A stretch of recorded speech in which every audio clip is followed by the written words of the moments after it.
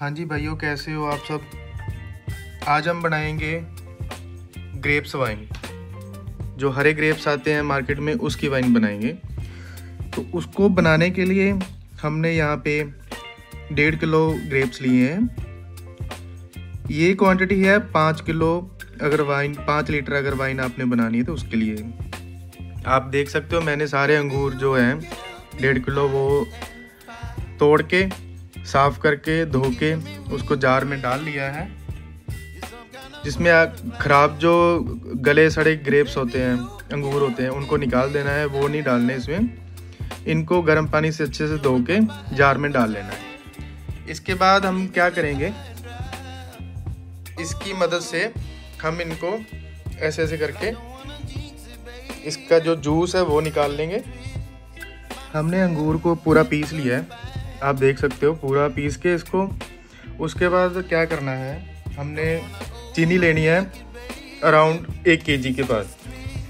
एक के जी हमने चीनी ले लेनी है। ठीक है, उसको मिक्स करना है इसके अंदर। ठीक है, मिक्स करके उसको पूरा अच्छे से घोलना है चीनी को पहले। फिर उसके बाद इसमें हम पानी डालेंगे। पानी कितना डालेंगे वो हम आगे बताते हैं आपको। पहले हम इसको, चीनी को इसमें मिक्स करते हैं। घोलते हैं पूरा अच्छे से। घोलने के बाद इसमें हम गर्म पानी डालेंगे। अब इसमें हम गर्म पानी डाल लेंगे, ठीक है? फिर उसके बाद घोल लेंगे चीनी को अच्छे से।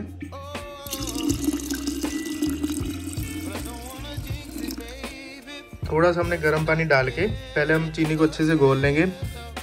अच्छे से घोलने के बाद फिर हम इसको आगे प्रोसीजर बताते हैं क्या करना है। पहले हम इसको घोलते हैं।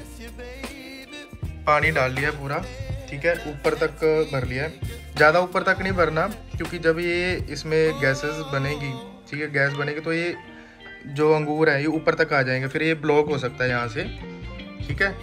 इसलिए ऊपर तक नहीं भरना इसको थोड़ी सी इतनी सी जगह छोड़नी है। और इसमें हमने गर्म पानी डाल दिया है, पूरा, जितना भी हमने फिल करना था कर लिया। अब इसमें हम ईस्ट डालेंगे ईस्ट क्या, कौन सा डालेंगे? ये वाला ईस्ट है।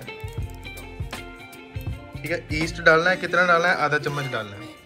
हमने आधा चमचा ईस्ट इसमें ले लिया है, ठीक है? इसको हम इसमें डाल देंगे। इसमें डालने के बाद इसको मिक्स कर देंगे अच्छे से।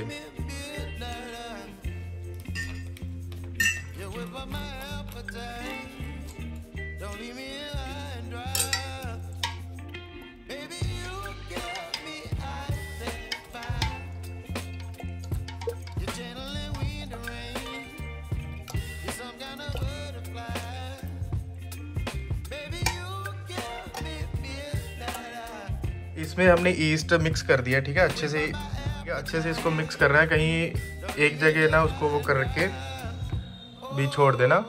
अच्छे से मिक्स करना है। उसके बाद हम इसमें ढक्कन लगा देंगे इसके ऊपर, जो हमारा ढक्कन बनाया हुआ है हमने। ठीक है? इसको अच्छे से टाइट करके एयर टाइट करके, इसको छोड़ देंगे पंद्रह से बीस दिन के लिए। बाकी आगे इसका जो रिज़ल्ट आएगा, ठीक है, वो आपके साथ शेयर करेंगे। एक वो अलग वीडियो में शेयर करेंगे। और जिसने एयर लॉक वाली वीडियो नहीं देखी, जिसको एयर लॉक बनाना है या घर पे बनाना है, ठीक है, हमारे चैनल पे एयर लॉक वाली वीडियो भी रखी हुई है, वो देख सकते हो।